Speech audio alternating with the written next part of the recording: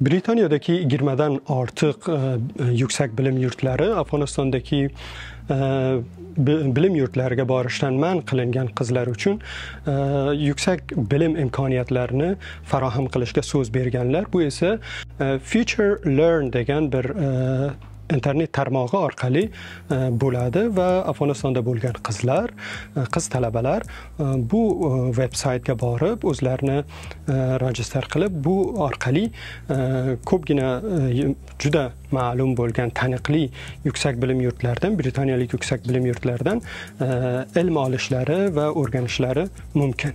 Bu internet orqali darslar asosan 16 yoshidan e, yuqorida bo'lgan e, qizlar uchun mo'ljallangan afg'on e, afg'onistonda bo'lgan qizlar uchun.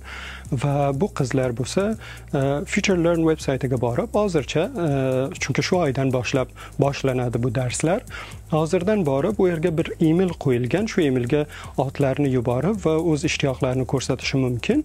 Keyinchalik ularga bir link yuboriladi va ular bo'lsa bu link orqali o'zlarini rejistr qilishlari mumkin.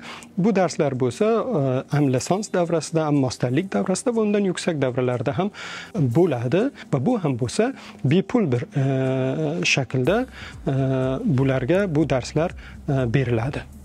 1200 kursdan ya'ni britaniyada eng taniqli e, oliygohlar va yuksak bilim yurtlarining kurslaridan va darslaridan tanlashlari mumkin. Bu bo'lsa tibbiyot sohasida e, omma sog'liq sohasida va ijtimoiyot sohasida farqli kurslar bo'lishi mumkin e, va hamda sayns sohalarida ham darslar beriladi. Chunki yigirmadan ortiqroq Э, universitetlar yoki o'sha yuksak bilim yurtlari bu darslarni beradi.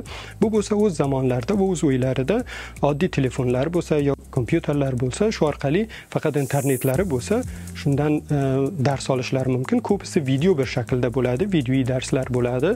Ba'zilari ham jonli bo'ladi jonli ravishda dars beriladi. Ba'zilari ham e, oldindan tayyorlangan mo'ljallangan videolar orqali bu darslar beriladi.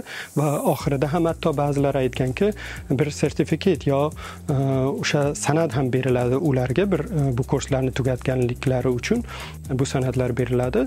Bu bo'lsa asosan shu toliblarning e, afg'onistondagi qizlarni oliygohlarga borishni man qilgandan keyin shunday bir qaror e, britaniyadagi yuksak bilim yurt e, yurtlar tarafidan olingan toki o'sha imkoniyatlar faroham bo'lsin va qizlar bilim olish ilm o'rganishdan mahrum qolmasinlar.